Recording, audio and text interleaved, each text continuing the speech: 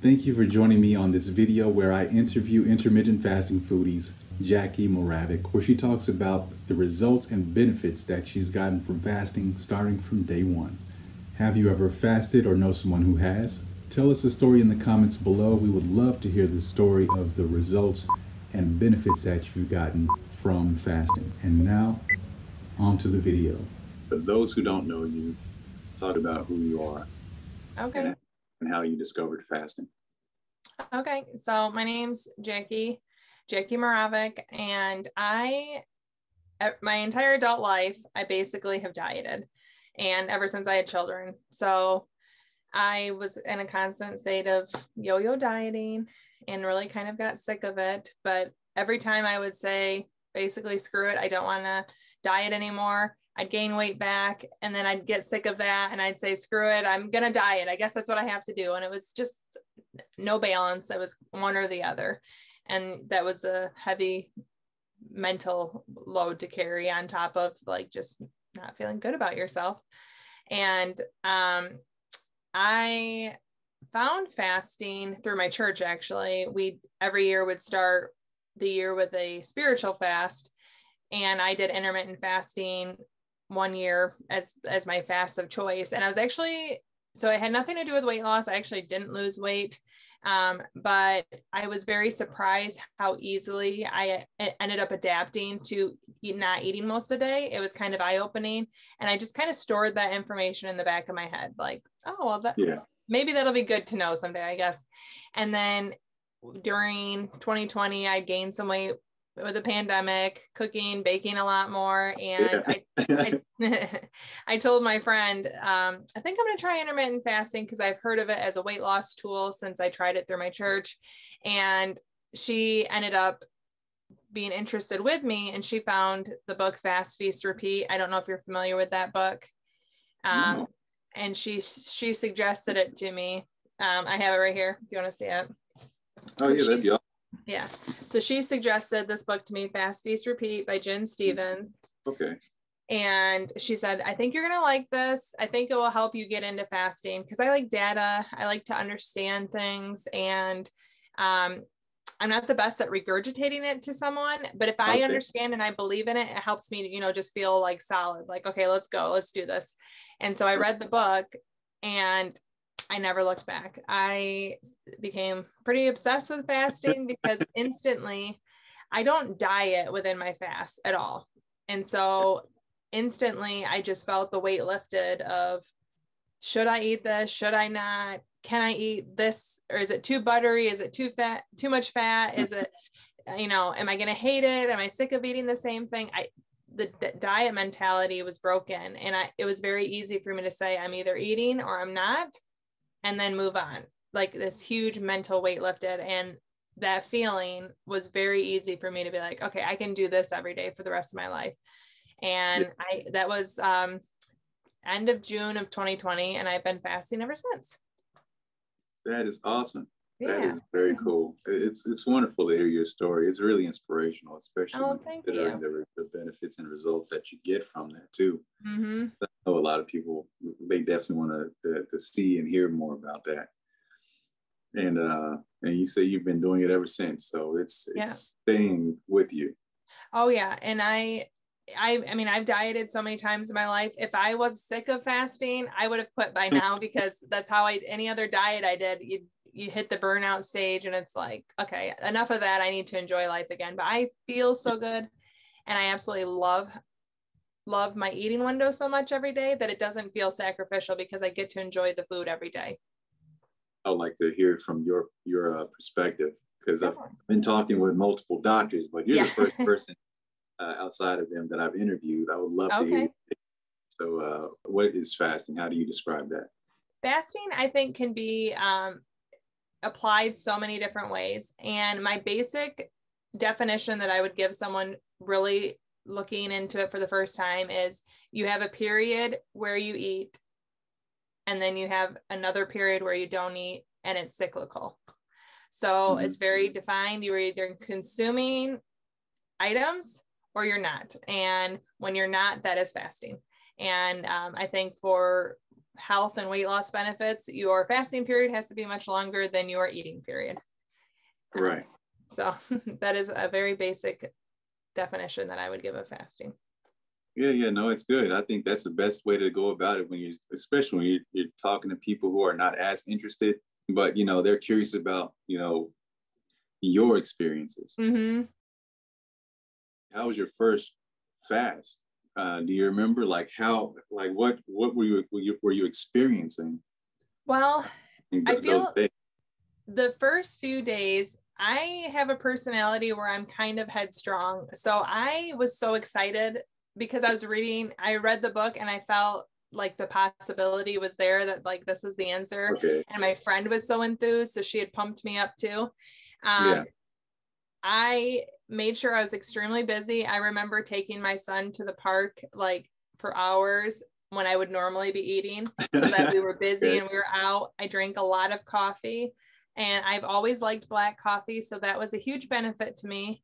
And I had my black coffee, I had my ice water, and I know that I remember less about the fast, but I remember the eating window. I was kind of like a vacuum, my first few eating windows, where as soon as I was done with the fast, it was like, okay, whatever's in front of me, I'm eating. And people worry about that when they start fasting but it goes away. I promise you that that need to eat anything in front of you when you first open your eating window. I i honestly just felt like okay whatever it is like i was excited to eat again. Um yeah. but my first few fasts it was a lot of distraction and a lot of coffee to get through them but what is it like now uh, when you fast versus compared to when you first started? Yeah so now um I I know it's really hard to imagine if you're considering fasting, but it's really easy. I have a routine. I drink lots of water. I still drink a lot of coffee. Um, but I I don't think of food. I have three children. I prepare food for them. I still make breakfast. I still make lunch.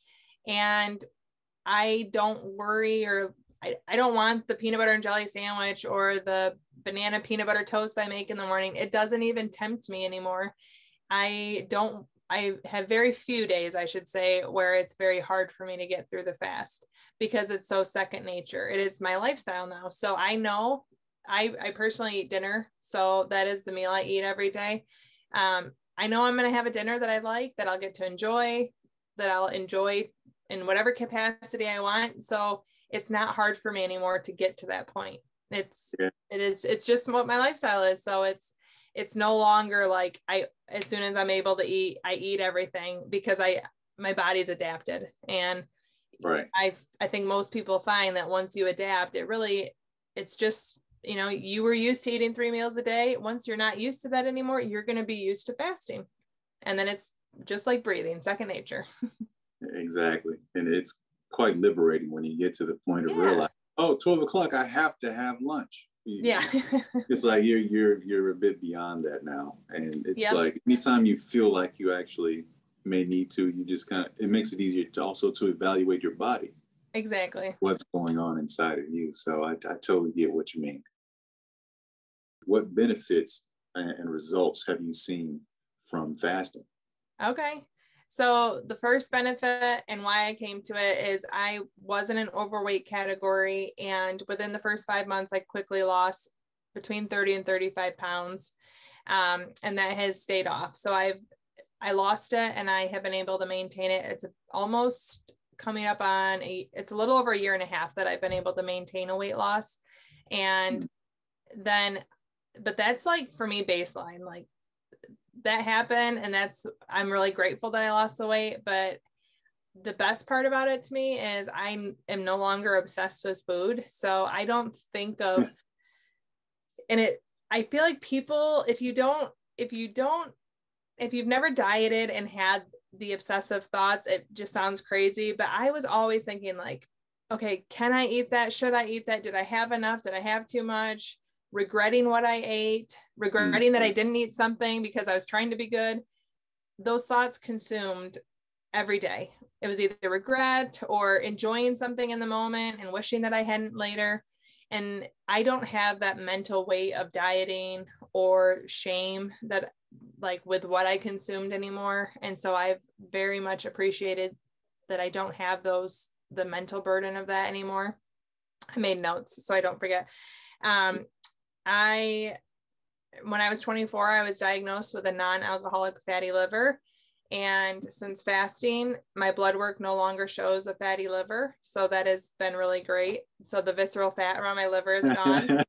and awesome. that's amazing. And um, when I was diagnosed with the fatty liver, I wasn't overweight. I was young and I had never been a drinker, but I yeah. nothing else changed in my lifestyle. I it has I I imagine it has to be from fasting. My primary care physician also attributes it to fasting. So um, yeah, it definitely corresponds with some oh yeah other doctors say as well. So yes, it's I'm definitely with- one of the the known benefits. Um, so I was very pleased. And that's a huge burden. You know, fatty liver can be awful and have lots of health risks with it. So um, then let me see.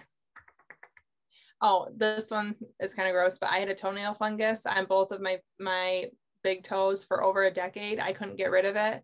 And I was told it basically is from painting your nails and it not getting enough sunlight. Within five months of fasting, it's gone and it's never come back and I had that for over 10 years, my entire adult life. So that went away. Um, my eyesight improved. I went to the same eye doctor for eight years, had the same eyesight. After fasting, I went in and my eyesight improved, which doesn't happen at 33. I'm like, are you sure? And then he, the um, doctor said, you know, I see this a lot even with diabetic patients once once they get their insulin under control their eyesight improves and so he wasn't even surprised that my eyesight improved i had i've worn glasses since i was nine and i had a really large glasses collection so i was really bummed that my eyesight improved because all of my glasses no longer worked so instead of replacing them i went and had lasik. So i did that. Then my eyesight really improved and i sleep better. And overall i just feel better every single day. But how has your family responded and reacted to your fasting journey you know from the beginning up until yeah. now so my husband i'm i'm an experimenter. So he's been with me through diets and all all of the other things that i've tried in the past. And i think he he just kind of thought okay jackie's trying something new. We'll see how long it lasts. And he didn't say that. He's always been supportive. Um, but i think he i know he's surprised that it stuck around. And then I have three children, as I mentioned. Um, and at first, it was weird for them, me kind of explaining, I'm not eating now. And I just explained to them, I'm an adult. I don't need to grow anymore. You guys are growing children. You need to eat throughout the day. Your bodies are constantly growing, and I'm not. And I think explaining it that way really made them think, oh, yeah, mom, mom's not going to keep growing and getting taller. She, adults don't do that. And so I think that helped them to understand. And now, you know, over two years later, my kids will say to me, "Is your window open?" And I'll say no, and then they whatever whatever they were thinking, it just goes on. It's second nature. It's not weird to them. And one thing that's really important to me as a mom is I have two tween daughters. They're oh. 10 and 12.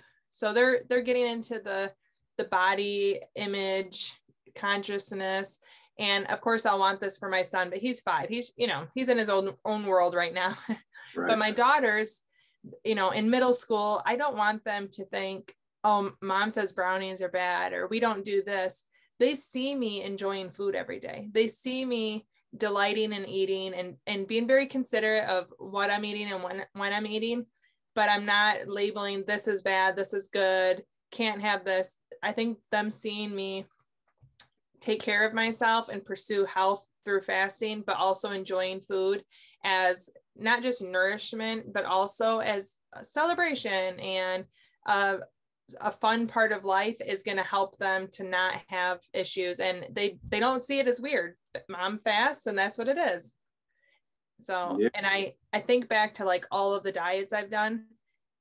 And then I think of fasting and which one I'd ra- rather my girls model someday as as adults well i really hope they don't go down the diet path but i wouldn't feel ashamed if they started fasting so to me there's like a hmm. huge difference in what i'm modeling to them as a mom that makes sense and i appreciate that you're teaching them about these things and uh, the, the cool thing about them asking you know is your window open it lets you know how receptive they are to yeah. everything telling them too. Right. And how and I'm, I'm thinking like I don't want to be negative on a certain diet, but if they said how many calories was in that at the same like the same idea of is your window open, I wouldn't yeah. I wouldn't like that. You know what I'm saying? I, would be like, oh, don't worry about that. I don't know. So yeah. I feel like it's it's behaviors that if they're receptive and they're picking it up, that I feel I feel um, good about show, sharing with them. Makes sense. I appreciate that. so, uh, for any, well, you did mention the book, but for anyone looking to learn more about fasting, what resources do you suggest and what helped you out? I love Dr. Fung. I know you, it sounds like you interviewed him. I think he has a wonderful YouTube channel, a wonderful website. I have multiple books of his. Um, and I think getting into a community of fasters is really, really important. So um, I have my YouTube channel. I think whether it's YouTube community, Facebook communities, I think it's really important, or if you're lucky enough to have someone in your own life that um, fasts regularly, to have people that understand that you can ask questions to, that you can, you know, I if if you're facing something like a new medication or you're like dealing with a symptom of fasting, like I have really bad keto breath sometimes like hey how do you deal with this i i don't like this part of fasting or i'm, I'm trying to figure out how i can adjust my schedule having other people that fast is really going to be a benefit to your to your journey so i think whether online or in person collaborating with other fasters is important I love Gin Stephens books and then also Dr. Michael Mosley. I've read multiple of his books, love him, and Dr. Bert Herring. I've read all of his books and love them as well. So those are my resources. Wonderful. That's awesome. I appreciate that because you also introduced me to some things I haven't uh, uh, read or heard of just okay. yet. So I will definitely be checking those out. Thank you. Awesome. yeah. So for anyone who uh, is thinking about getting started with fasting, what, what word inspiration would you give someone who is considering it? The biggest inspiration that I can tell you is it is not perfection's not required.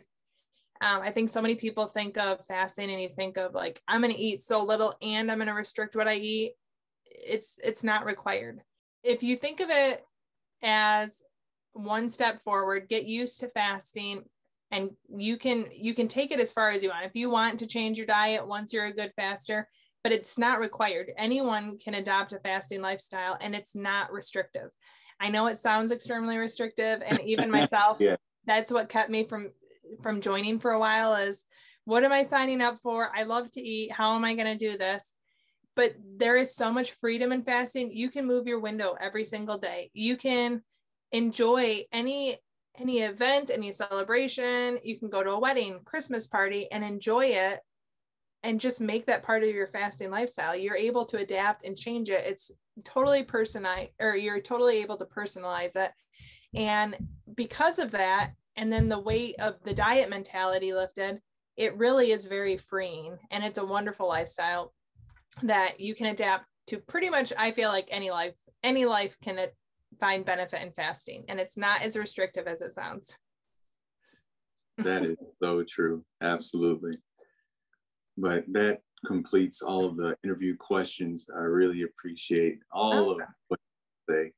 And uh, like I said, you introduced me to some new resources, so I got some reading to do. Yeah. I'm looking forward to it. That's awesome. Yeah.